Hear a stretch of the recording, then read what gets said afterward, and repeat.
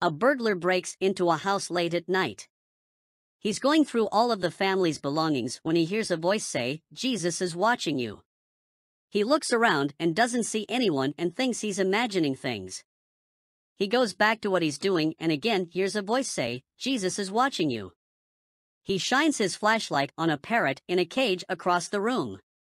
Are you the one saying Jesus is watching me? Yes, the parrot replies.